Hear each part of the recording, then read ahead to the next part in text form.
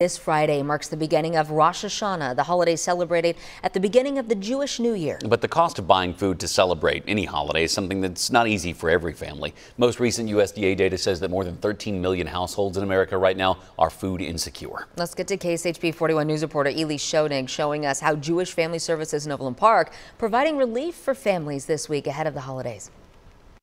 Volunteers are right here behind me packing up Rosh Hashanah meal kits to families who signed up for them that'll be delivered later this week. This meal packing is taking place at the Jewish Family Services in Overland Park. Families who signed up for a meal will get food like roast chicken, matzo ball soup, dried fruit, and more. But families don't just get the meal. Here they get the delivery too. Volunteers distribute this directly to the homes of families. This brings it to people, and there's a lot of people in this city that aren't mobile and can't come to the pantries, so this brings it right to their table so they don't have to miss out on the celebration.